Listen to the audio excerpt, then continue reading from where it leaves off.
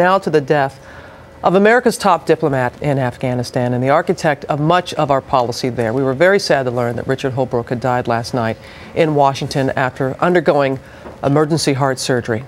And according to a U.S. official, his last words to his Pakistani surgeon were, quote, You've got to stop this war in Afghanistan. Martha Raddatz has much more. I thank you for your confidence in offering me this daunting assignment. Anyone who knew Richard Holbrooke knows what a force he was a man with enormous energy and confidence. He is simply uh, one of the giants of American foreign policy. I'm sure there are some shoulders here tonight that are still a little bit sore from his arm twisting. Holbrooke fell ill on Friday during a one on one meeting with Secretary Clinton, complaining of chest pains. He was rushed by ambulance to nearby George Washington Hospital, where all weekend doctors performed a number of surgeries to repair an aortic tear. Ultimately, however, they were unable to control the bleeding. The president issued a statement saying the United States is safer and the world is more secure because of the half century of patriotic service of Ambassador Richard Holbrooke. Secretary Clinton said America has lost one of its fiercest champions and most dedicated public servants.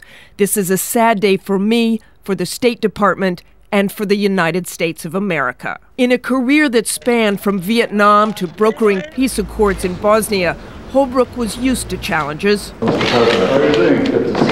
and never shied away from using blunt language to get his point across. It's silly to even respond to such a ludicrous charge. It was his experience and straightforward approach that led President Obama to tap Holbrooke for the Afghanistan Pakistan job just days after taking office.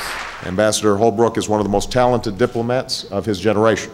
Richard Holbrooke died with his wife Kati, his children and stepchildren by his side. He was 69 years old. And he was such a presence and such a force. I want to bring in Martha Raddatz now, along with Jake Tapper, who was at the White House. And Martha, you just came back from Afghanistan and Pakistan. And so, what are the implications of our of our policy going forward now?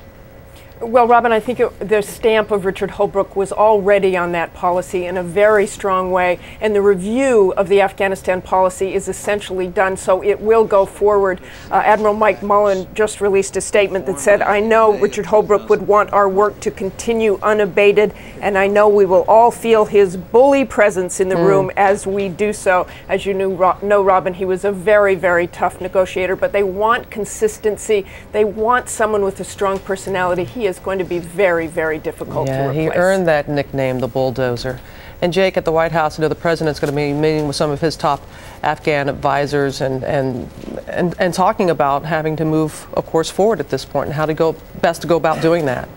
That's exactly right. And uh, of the people around that table, there are very few who are focused exclusively on Afghanistan and Pakistan, and his candor will be missed. I was told by a top official who will be in that room uh, later today, later this morning, uh, and his expertise, of course. There aren't that many individuals uh, who are, so larger than life. Uh, the job of special representative to Afghanistan and Pakistan uh, is a job that basically requires its own Secretary of State. The region is so complicated uh, and one of the issues going forward is that there are not that many people uh, who can fill that role to be the special representative just to focus on Afghanistan and Pakistan.